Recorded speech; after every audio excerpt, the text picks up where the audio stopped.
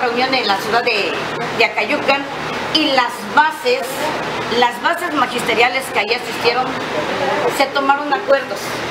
El acuerdo que se llegó es que el día 19 de marzo se va a tomar la secretaría.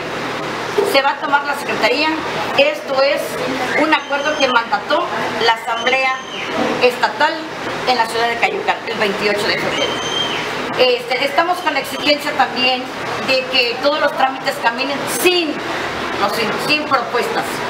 Este, nosotros nuestro primer punto es, vamos con la aprobación de la mal llamada reforma educativa. Nosotros nada de lo que vuela a la mal llamada reforma educativa vamos a aceptar. Ni modelos educativos, fuera los clubes de las escuelas y eh, todo lo que venga de la mal llamada reforma. Aquí nosotros estamos esperando lo que nuestro presidente de la República Mexicana, que es el señor López Obrador, en toda su campaña él dijo y prometió a los maestros de que esa mal llamada reforma educativa se iba a venir para abajo.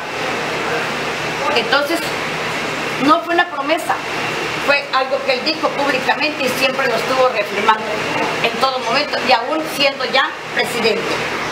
Entonces estamos esperando que esta mal llamada reforma educativa se venga para abajo.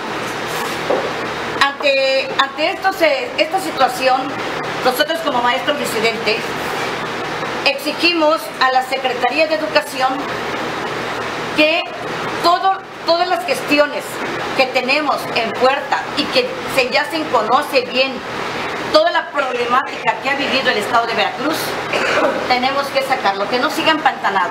Si hemos trabajado con otras administraciones que no tuvieron nada que ver con el movimiento, hoy le exigimos a él que él conoce y que él sabe que él salió de este movimiento, que le dé cauce a todas las exigencias que tenemos empantanadas